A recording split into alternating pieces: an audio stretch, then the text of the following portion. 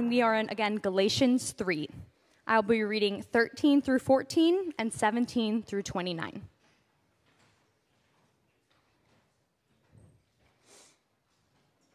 Christ redeemed us from the things Christ redeemed us from the curse of the law by becoming a curse for us. For it is written, Cursed is everyone who is hung on a pole. He redeemed us in order that the blessing given to Abraham may come to the Gentiles through Christ Jesus, so that by faith we might receive the promise of the Spirit. Jumping down to 17. What I mean is this the law, introduced 430 years later, does not set aside the covenant previously established by God and thus do away with the promise. For if the inheritance depends on the law, then it is no longer depends on the promise. But God, in His grace, gave it to Abraham through a promise. Why then was the law given at all? It was added because of transgressions until the seed to whom the promise referred had come. The law had given through the law given through angels and were entrusted to a mediator. A mediator, however, implies more than one party, but God is one. Is the law therefore opposed to the promises of God? Absolutely not. For if a law had been given that could impart life, then righteousness should certainly have come by the law. But Scripture has locked up everything under the control of sin, so that what was promised, being given through faith in Jesus Christ, may be given to those who believe.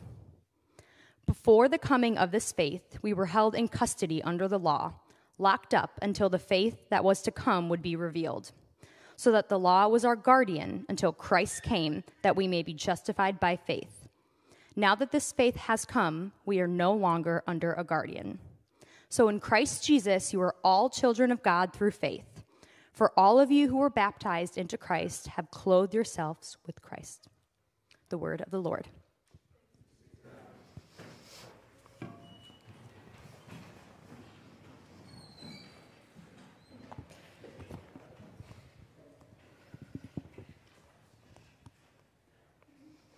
Good morning, church.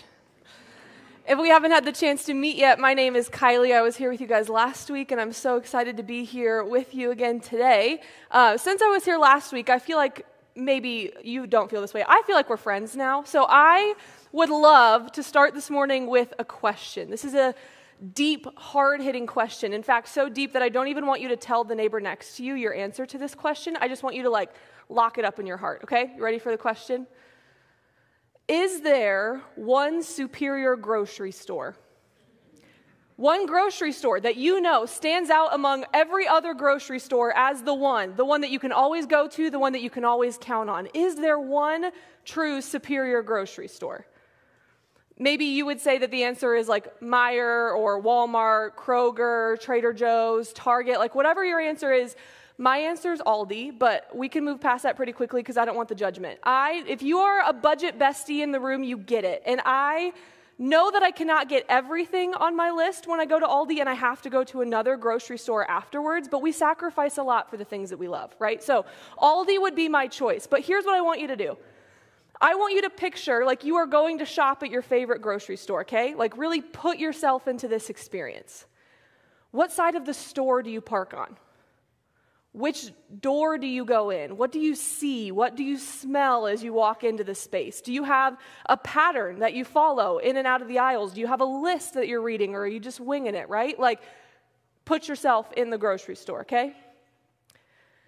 Now, I want you to imagine that something feels a little bit off about this experience, okay? As you walk in the grocery store, you go about your routine, you notice that nothing is actually in the place that it's supposed to be, right? You know your store, you know where it's supposed to be. In fact, it seems like everything that they sell is on a completely random shelf all throughout the store. There is a can of soup next to deodorant, next to mechanical pencils, like all on one shelf. You can't even find two of the same thing in one spot.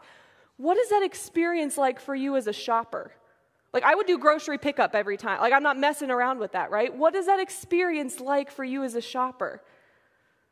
It's probably frustrating, right? It's probably chaotic. Like, I wish that there was like some signage, right? Like, why can they not just like put a sign here, or maybe group some of the like items together, have a little bit of categorization, right? Like, I wish There was some organization, some categorization, some division.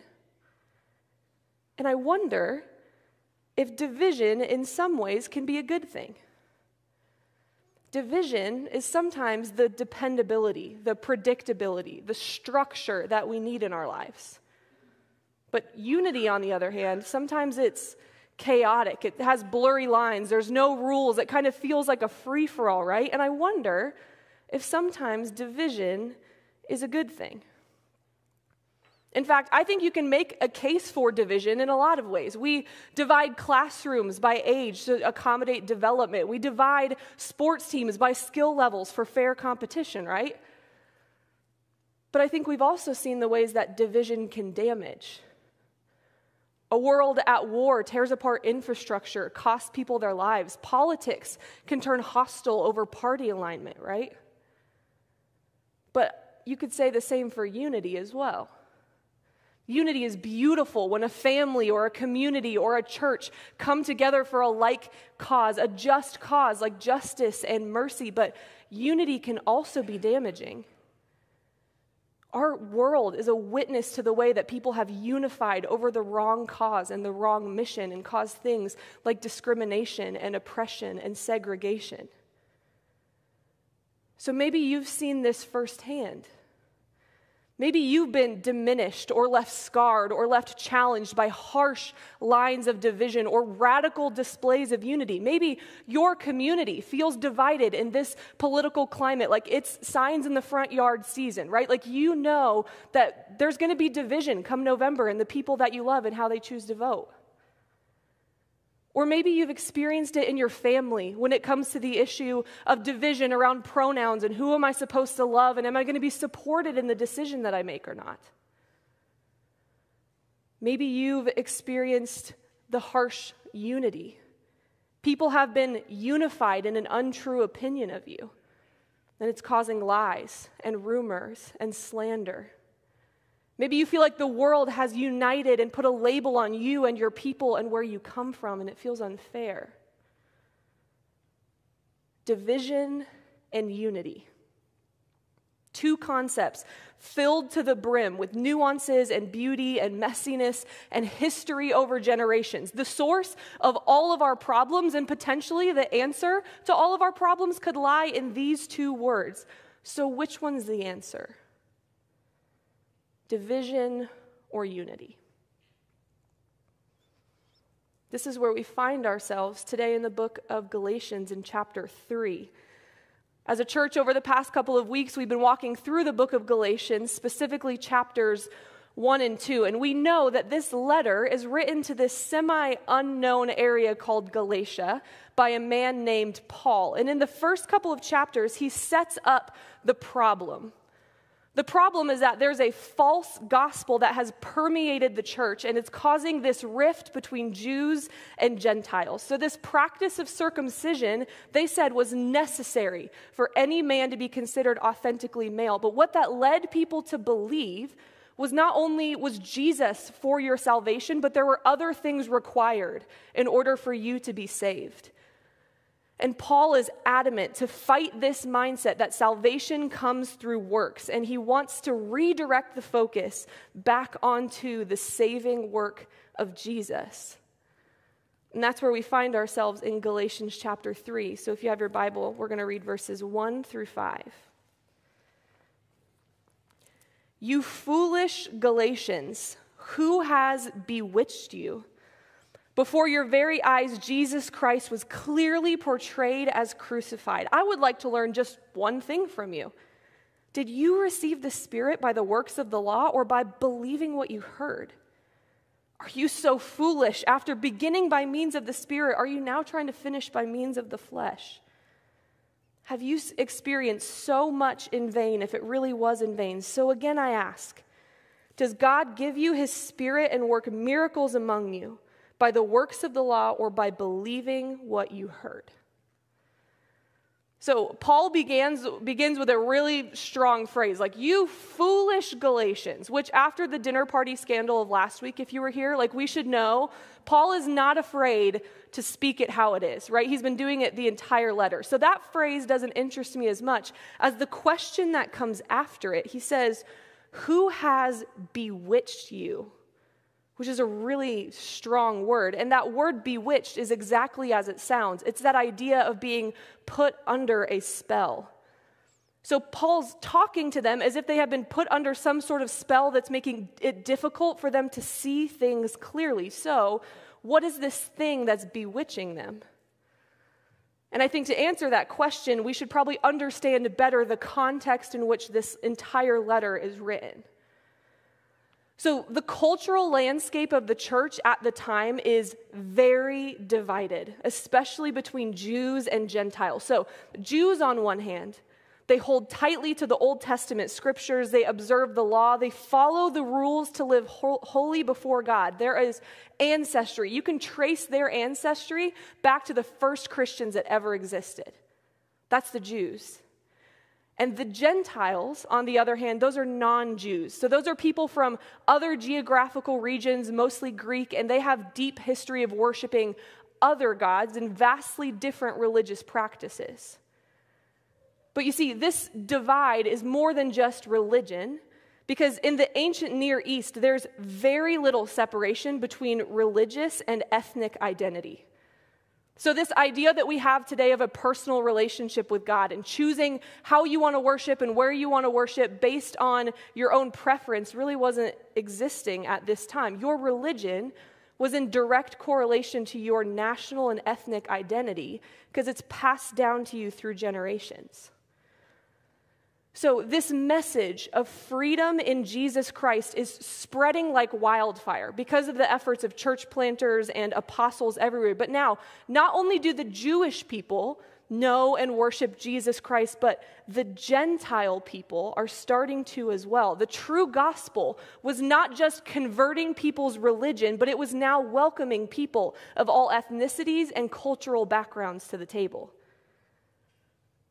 So imagine the tension. Like, who's truly considered the people of God? Because these Gentile people are hearing a message of freedom in Jesus Christ that they've never heard before. And they're excited and they're ready to drop everything and sacrifice everything to follow God. But the Jewish people are probably thinking, hold on a minute. Like, we, we have rules, we have laws, we have lineage, we have things that we are meant to keep pure and we are meant to keep holy. Like, where's, where's the division? How do, we, how do we find a middle ground? And I know there's a lot of nuance to this specific situation, but do you see any similarities between this and our world? Like, whether that's on a small scale, like the pride that we show to our home team and them getting to the Super Bowl, right? Like, it's worth you calling your uncle to rant about the game afterwards if you win. But also on a, a, larger scale, America is described as the melting pot. We have cultural integration for centuries coming into our world. You rub shoulders every single day with people that are different from you in a million ways. And I wonder if you took a really close look at your life, are there seeds of division being planted? Maybe it's in your life, or maybe it's in the life of a neighbor, or a family member, or a coworker, or a friend. This is so much more than a mean girls like you can't sit with us kind of moment, right? Between these two groups. The divide between these groups was causing discrimination and oppression and pride in the Jewish identity as part of God's chosen people. So much so that the Jewish people would have looked at Gentiles and hated them, or at the very least, shown favoritism towards their own people. And Paul describes this entire cultural moment as having the Galatians bewitched. They're so focused on following the law and keeping the purity that it's causing them not only to view themselves differently, but to view others differently and to no longer have a clear picture of who Jesus is and what he died for. That's why he says, before your very eyes, Jesus Christ was clearly portrayed as crucified. It's like you're under a spell. How are you not able to see this clearly? That's where we find ourselves in the landscape of this letter. And then, after asking a few hard hitting questions, Paul tries really adamantly to put the spirit in opposition in comparison to the flesh, to hopefully help them see that it's Jesus who saved them. And then he brings in a man named Abraham in verses 6 through 9. So read along with me. So also, Abraham believed God, and it was credited to him as righteousness. Understand then that those who have faith are children of Abraham. Scripture foresaw that God would justify the Gentiles by faith and announce the gospel in advance to Abraham. All nations will be blessed through you. So those who rely on faith are blessed along with Abraham, the man of faith. Hopefully, you hear the key word in there. It's by faith. And to me, Abraham maybe feels like a little bit of a throwback. I don't know. He's like, he's digging way back into the lineage of the Jewish people, right? He's going all the way back to their roots. And we maybe know the story of Abraham because it's found in Genesis, the very first book of our Bible, where this man named Abraham was called by God to leave everything that he knew, to leave his people, to move to a foreign and distant land without any idea what God was going to be doing. And he said yes out of obedience. And then this is what God says to Abraham in Genesis 12 I will make you into a great nation, and I will bless you. I will make your name great, and, may, and you will be a blessing. So maybe this idea, this story rings a bell from when you were younger. I know it does for me because we used to sing the song that Father Abraham had many sons, right? Many sons had Father Abraham. It's this idea that he's making us into a nation. And then the beautiful part of the, that song is I'm one of them, and so are you. So we can all just praise the Lord, right? Like maybe you know that song, but he made a promise to Abraham that he's going to build the entire nation of Israel on his lineage alone. The Jewish people love Abraham, he is their ancestor. But Paul actually flips the script on them because he quotes Genesis 15. Abraham believed in God, and that was his righteousness. So those who have faith are children of God. It was by faith that Abraham followed the call of God to a new and foreign land. So it's now faith that is going to characterize every single descendant of Abraham. So the important link to him was not the link of genetics, it was not the link of works, it was the link of faith. That means that the true inheritance, the true people of God, are not just the Jewish people who were circumcised and followed every single rule and fought to keep their lineage holy. It was now available to the Gentile people. Anyone who chose to respond in faith could receive the promise of the Spirit. The table is now wide open. So if you're like me, you're thinking, yay for the Gentiles, right? Like, come on home. But that's probably not what the Jewish people were thinking. I kind of think of it like living with someone that you've never lived with or someone new for the very first time, right? Maybe you've experienced this. You've gone from like somewhat independent living or just living with your parents to living with somebody new. Maybe this was a college roommate or a post college roommate. Maybe you got married and moved in with your spouse for the first time, or maybe you just have somebody that's living with you for a while, right? You can know how hard is it to reconcile differences in a shared space? Like, why on earth would you think that the ketchup goes in the pantry and not the fridge after you open it? Or we have laundry baskets for a reason. Like, why are your clothes not in the basket but on the floor next to it? Or if you, girl, if you think that picture is going on that wall, you need some glasses because it's not cute. Or whatever you're doing in the kitchen, can you stop because it smells weird? And I'm like trying to focus on the thing that I'm focusing on, right? Like, living with people that you've never lived with is hard. So, how do we do this when there are bigger, more significant differences at stake. For the Jews, it's how are we meant to live in peace with the Gentiles when everything in our law says that we are meant to be pure and holy? How do we work with someone whose political alignment rubs up against our deep felt values and beliefs? Like, how do we lean in and love well and listen well when there are vast disagreements on immigration and the sanctity of life and how to keep peace in our world? Or how do I love someone well when I didn't realize when I married them that their view of family is so different and they want to set different boundaries with our extended family and they want to raise our kids differently than I want to? Or how do we stand in the gap for marginalized people when our nation has incredibly deep roots of discrimination? How are we supposed to step into that gap?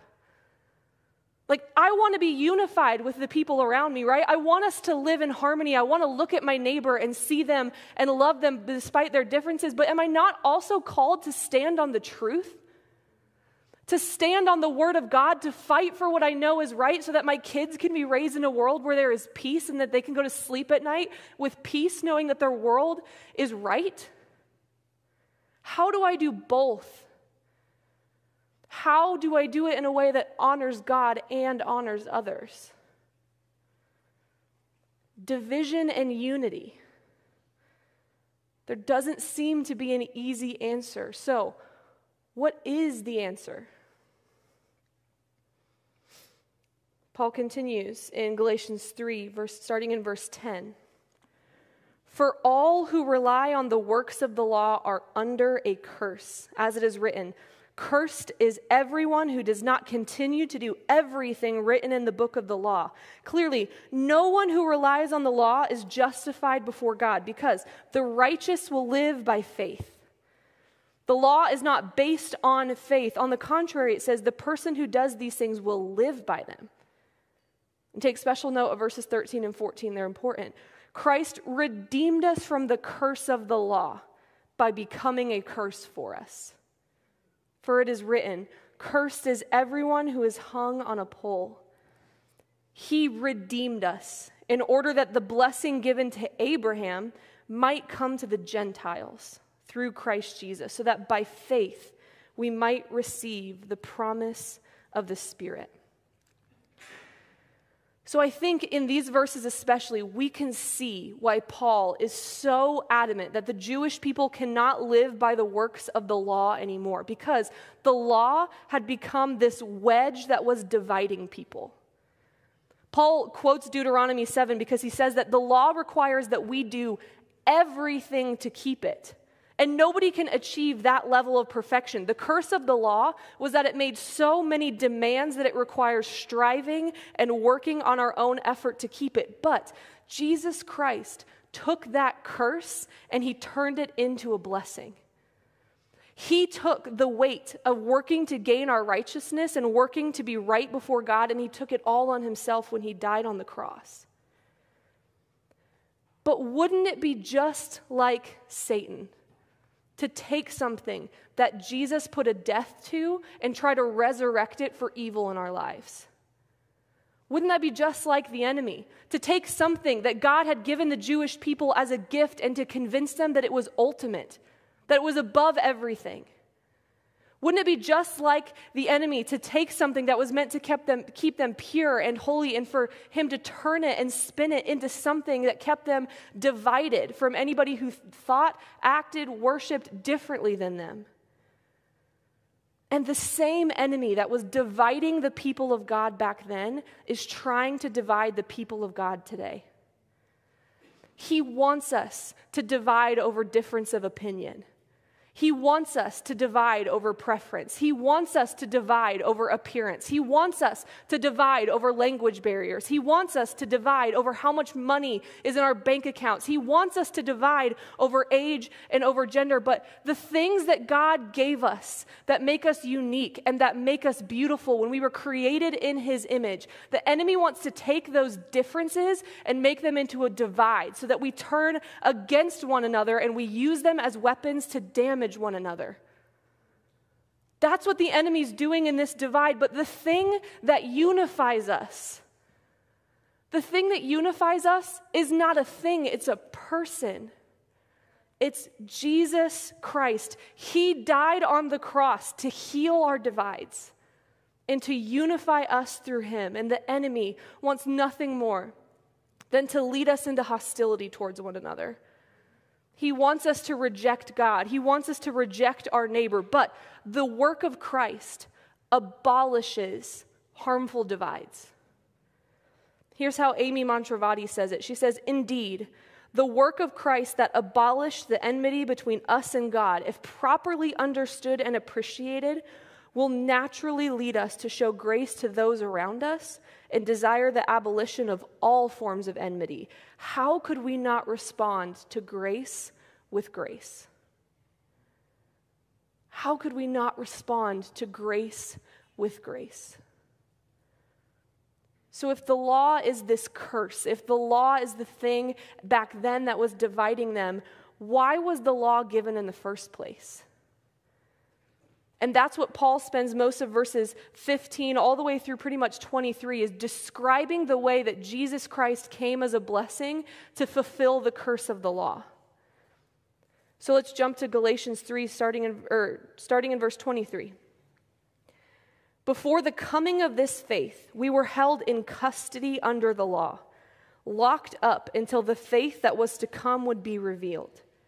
So the law was our guardian until Christ came that we might be justified by faith. Now that this faith has come, we are no longer under a guardian. So, you see, the law did serve a purpose. I know I've spent a lot of time the past couple of weeks telling us how the law was this evil, horrible, wretched thing, but it actually was given as a gift from God. The people of Jesus, the people of Christ, God's people, they needed parameters for them to know what it was like to live with God's expectations. So, the word in this passage, guardian, is actually the word for like a babysitter or a nanny, right? Like the law was just meant to keep us in line while the parents were away. But it was also meant that the law would keep Israel from straying to worship false gods in neighboring nations, and it protected them from idolatry. But they took the parameters of keeping them from worshiping other gods, and they used them to keep them set apart from anybody who was different from them in every single way. But now that Jesus has come, we don't need a guardian in the law because he has become our guardian. It's the Spirit of God that lives within us that guards our hearts and minds in Christ Jesus. So now that the harsh dividing lines of, uni- or of division are gone, we have a new call to unity, which he describes in Galatians 3, verses 26 through 29. So in Christ Jesus, you are all children of God through faith. For all of you who are baptized into Christ have clothed yourselves with Christ. There is neither Jew nor Gentile, neither slave nor free, nor is there male and female, for you are all one in Christ Jesus. If you belong to Christ, then you are Abraham's seed and heirs according to the promise. That is good news today, church. In Christ Jesus, we are children of faith.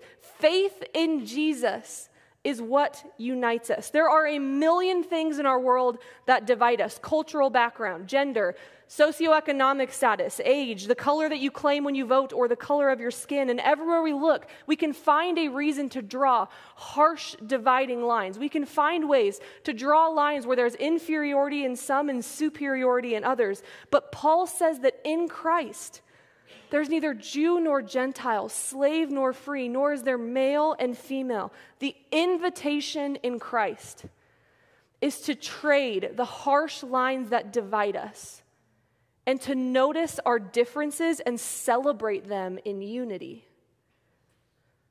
Charles Cousar says, in light of this, the unity that he declares in this passage is not one in the first instance in which ethnic, social, and sexual differences vanish but one in which the barriers, the hostility, the chauvinism, and the sense of superiority and inferiority between respective categories are, look at that word, destroyed. We are celebrated as unique individuals in Scripture. Psalm 139 says, I praise you because I'm fearfully and wonderfully made. For your works are wonderful. I know that full well. In 1 Corinthians 12, just as a body, though one, has many parts, but all of its many parts form one body, and so it is with Christ. For we're all baptized by one Spirit so as to form one body, whether Jews or Gentiles, slave or free, and we're all given the one Spirit to drink. Even so, the body is not made up of one part, but many. The things that make us beautiful and unique individuals do not vanish in the light of unity, but the enemy will take advantage of any of our differences to draw those harsh dividing lines, lines that give birth to hostility and barriers and chauvinism and racism in the lives of non believers and believers alike. It's sin that causes hostility towards others. It's sin that causes division. It's sin that is injustice towards those who don't act, think, work, worship, or live like we do.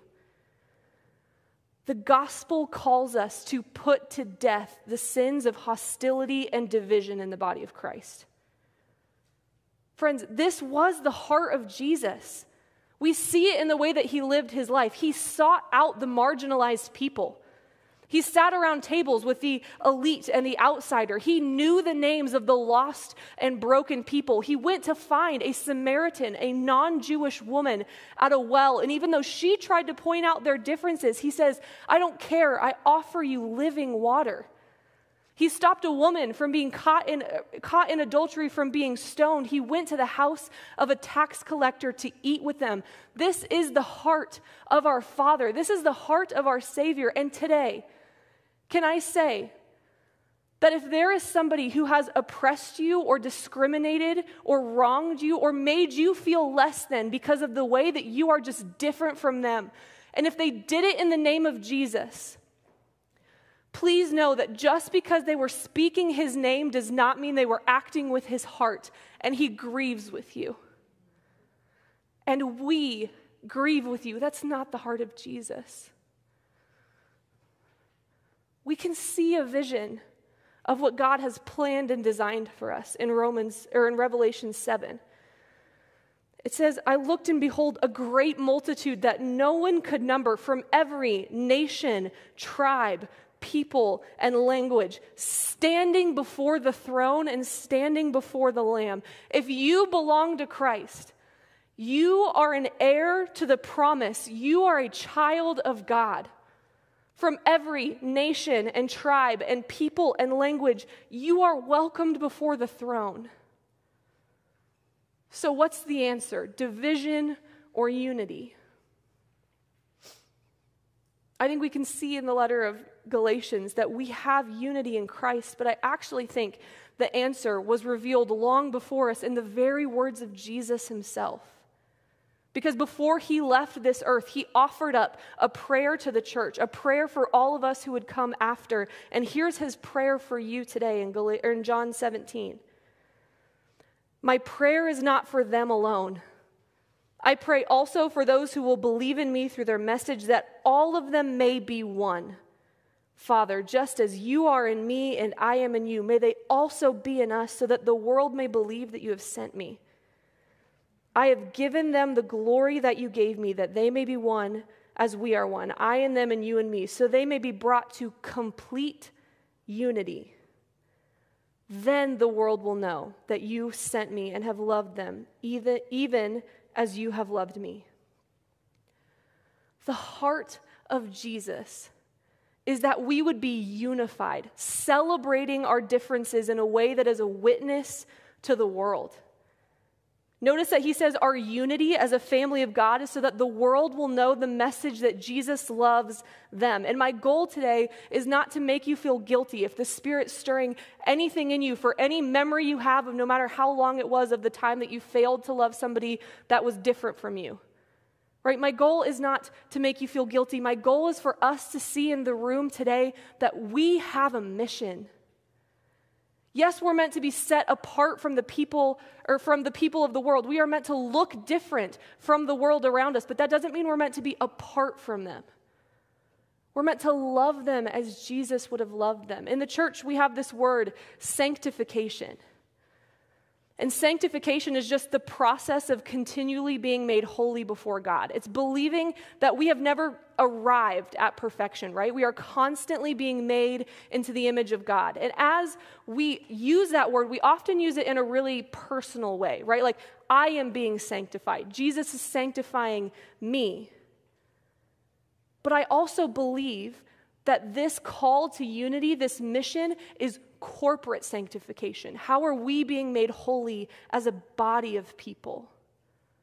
What is God wanting to do in us in that? We have a mission for unity as the church. One in which we look different and we act different because we worship Jesus. We're set apart from the world, but we're still in the world, loving people, showing them Jesus, showing them what true unity and celebrating our differences can look like. You see, I, uh, I love my job as a youth pastor. That's what I get to do 40 hours of my week. I love hanging out with youth and eating horrible food and listening to all of the pop culture drama that they all know when they walk in the door. Like this, it's, my, it's the best gig in the world. I love it. But nothing makes me more upset than when I hear the way that people talk badly about the next generation. I hate, I hate, which I don't know if I should hate, but I hate the phrasing and the language that they're lazy that they're apathetic, that they don't want real jobs. They just want to be TikTok famous, right? That they're too into their phones, they're too into their technology. They are the anxious generation. And I wish that I could just take the people who are believing those things about the next generation and let them sit in a circle with my sixth and seventh and eighth graders who are talking about fulfilling their kingdom purpose and how to love and serve one another because they are the future of the church and they have it right. And sure, you could make a lot, you could use a lot of statistics to back up a lot of those claims that I mentioned earlier, but we also know about the next generation that they are one of the most justice oriented generations that we have ever seen. They want to participate in making the world a better place. That's why I love them. And I was reminded of this. I was actually at the Carmel Library this weekend, and um, there was a display of a project that was done by students. It was called the Clothesline Project where they could design a t shirt with a message written to a survivor of violence, specifically domestic violence, but any kind of violence. And I took pictures of some of my favorite phrases and quotes that they wrote, and I want to share a couple of them with you. These are written by students. Love shouldn't hurt. Pain is real, but so is hope. You are not the darkness you endured, you are the light that refused to surrender. You see, I want to pursue unity. I see it as my mission for them. Because I want the next generation to grow up in a world where they can look at adults and see the example of what it means to be the hands and feet of Jesus, showing justice and mercy to the people around them and celebrating their differences. Because I don't want to hand them the mantle. I don't want to hand them a world that's lost and broken and damaged and they believe that they can do nothing about them. I want to empower them to speak out for the causes of justice and mercy. I pursue the mission of unity for them so that we can sit in the future of the church and know that it's in incredibly good hands. And today, I don't know what makes this message personal for you. Maybe it's the school that you work at or wherever you work. Maybe it's your neighbor. Maybe it's your family, your mom, your dad, your sister, your brother. Maybe it's you yourself. You have a mission that you want the world to be a better place. You want it to be unified. And today, I want to invite you to ask the Spirit to make it personal. That we as a church have a mission for unity, that it's faith in Jesus that unites us and in a world that is so divided, if we can stand as a community of believers celebrating and recognizing our differences, but saying that those differences are not a reason for harsh, dividing lines, then the world is going to ask the question who is Jesus? And why does any of this matter? I see the way that you live differently. Who is Jesus? What is his mission? Today, I want to invite you to join in the mission. We have a mission for unity. And I want to leave us with a quote today from Derwin Gray. It was used in the first week of this series. It says, The gospel not only forgives us our sins, but it creates a family with different colored skins. I hope you see the mission of unity as your mission today. It's what Jesus is calling us into. So let me pray for us today. God, we thank you that we were created in the image of God, that we were created in the image of a holy and matchless and perfect creator. But God, we know and recognize today that we are sinful and fallen human beings. That everywhere we look in our world, there's the opportunity to find division, to find ways that we are not alike from the people next to us, to treat people differently because of it. But today I pray, Jesus, that starting here in this room, we would be a group of people that feels the mission so heavy, so burdened on their heart that we would walk out of this doors and show the world a different reality where we can be celebrated in our differences, but we can be unified in the message of Christ. Would you give us the faith to believe that it's possible? God, I pray for my brothers and sisters in this room today. Would you make it personal, Jesus? Would you heal the pain that exists in the stories of the people of this room? Would you give us a hope for a future, a new picture of what could be in our world? And we ask it in Jesus' name. Amen.